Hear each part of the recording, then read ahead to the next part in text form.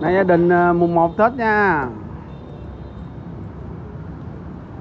ờ, ừ yeah.